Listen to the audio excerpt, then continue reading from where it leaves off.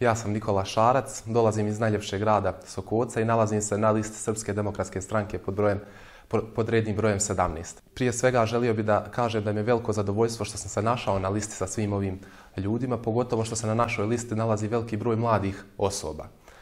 Generalno mislim da mlade osobe ne učestvuju dovoljno u donošenju odluka koje se njih tiču i da je potrebno veće aktivno uključivanje mladih u donošenju ovih odluka. Ja neko vrijeme nisam bio u Sokocu, bio sam na studijama u inostranstvu, odnosno u Novom Sadu, ali sam odlučio da se vratim, da ostanem ovdje, da živim ovdje i da se zajedno borimo za jedno pravednije i slobodnije društvo gdje će se više cijeniti moralne, obrazovne, duhovne vrijednosti u odnosu na materijalne. Mislim da udruženim zajedničkim snagama možemo učiniti da ova zemlja postane jedno mjesto življenja srećnih i zadovoljnih ljudi gdje ćemo znati ko smo i kuda idemo.